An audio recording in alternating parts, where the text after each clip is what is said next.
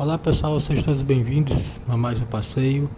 Meu nome é André Carvalho, estamos aqui na nossa querida Lagoa do Portinho. Aproveitei aqui um domingo, mostrando um pouco aqui de umas imagens que ficam um pouco mais longe, né?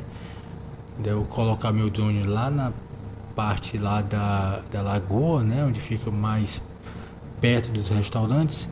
Então tive que vir de moto para olhar aqui para mostrar para vocês um pouco mais, né? E assim dar um andamento melhor nas vistas, né? Para que vocês possam conhecer. A Lagoa do ela fica localizado na nossa cidade de Parnaíba. É um dos cartões postais que temos aqui, é essa lagoa. Há um tempo atrás ela praticamente secou e novamente voltou a ter água, né? Tivemos um problema aí estavam falando que era desvio de água, não sei direito. Mas enfim, é, a água continua na Lagoa do Portinho. É um dos cartões postais é, interessante, entendeu? Vale a pena conhecer. A Lagoa do Portinho também é um local também de grande é, força no sentido de que nossos atletas na nossa cidade de Parnaíba eles ficam, eles treinam aqui, é onde concentra as maiores dunas aqui na nossa região, tá?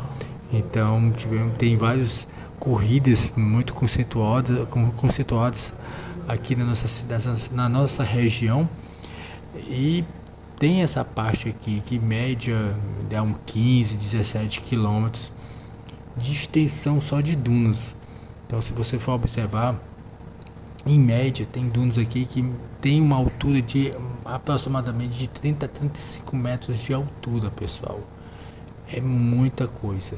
E aqui também tem várias é, práticas também de lazer quando é, corrida, é, corridas não, desculpa, passeio de quadriciclo, tá? O pessoal faz muito isso aqui, aqui, também de lancha também. Então, enfim, é um local que você deve conhecer que é a Lagoa do Postinho, tá? Então vocês vão observar alguns pontos que tem barraca aqui, tá? Mostrando para vocês é, esse local. Vai mostrando aqui um pouco, ó. Um deserto, um deserto do Saara, né? Podemos dizer assim. Então, muita coisa. Volto a dizer para vocês, quem for fazer prática de corrida aqui, não aconselho você correr sozinho Acompanhe sempre duas pessoas, porque você pode ter um problema de insolação, você pode passar mal e aí fica mais difícil através do socorro. Então, sugiro que você não faça isso sozinho, até mesmo andando aqui também de moto, como eu fiz também, não se aconselha muito. Então, assim, eu fui aqui em locais mais próximos, então não fui muito distante, exatamente por causa disso. Então assim, ficar, olha, pra ter muita cautela, tá pessoal? Então é isso que a gente faz aqui nos nossos passeios aqui pela Lagoa do Portinho, tá? Espero que vocês tenham gostado do passeio. Compartilhem, curtem bastante o vídeo. Deixe seu like, faça seu comentário, pois ajuda bastante o nosso canal crescer.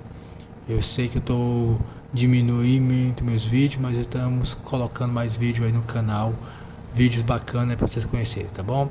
A gente vai ficando por aqui. Um grande abraço a todos vocês. Vamos ficar com essas imagens aí, finalizando aí com a colega aí, corredor Gutenberg.